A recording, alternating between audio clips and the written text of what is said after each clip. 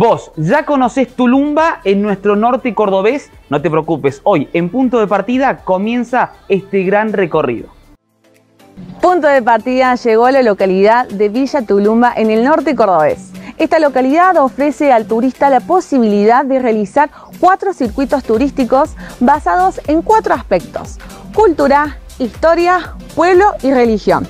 Ahora acompáñanos que te mostramos el primer circuito bien completo. Quédate ahí por punto de partida.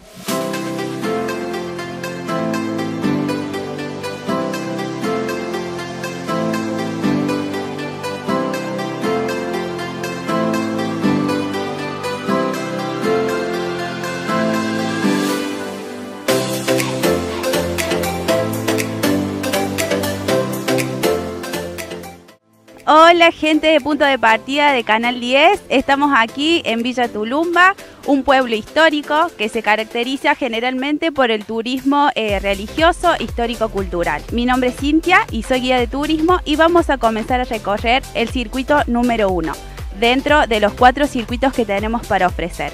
Vamos a comenzar por aquí, por las ruinas de la antigua capilla, datan más o menos del fines del 1600 y fue mandada a construir por el primer poblador de aquí, don Antonio de Ataide. Al lado vamos a continuar por el santuario que data de 1882. Comienza su construcción y en 1892 finaliza. En 1881 es Fray Mamerto Esquiu quien coloca la piedra basal de este templo y bendice el terreno para la posterior construcción.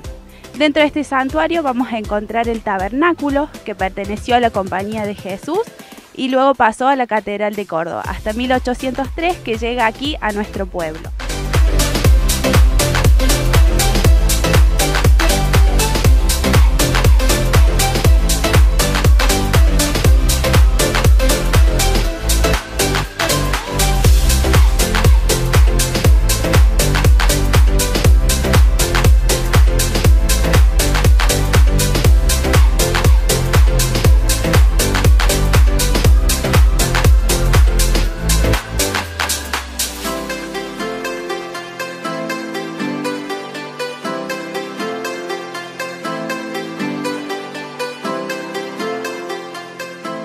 Vamos a encontrar también el Cristo articulado y la Virgen del Rosario. Vamos a continuar por eh, la plazoleta Granadero Márquez. Él es quien participó en la batalla de San Lorenzo junto a San Martín y era oriundo de este pueblo. Hoy en la plazoleta vamos a encontrar también artesanos y emprendedores que van a estar exponiendo y vendiendo sus productos. Es para todo público, para cualquier edad, eh, desde el lado de turismo también ofrecemos los que son eh, caminatas y cabalgatas que se pueden hacer eh, por algunos lugares históricos de acá del pueblo. Bien, nosotros estamos a 150 kilómetros de Córdoba capital.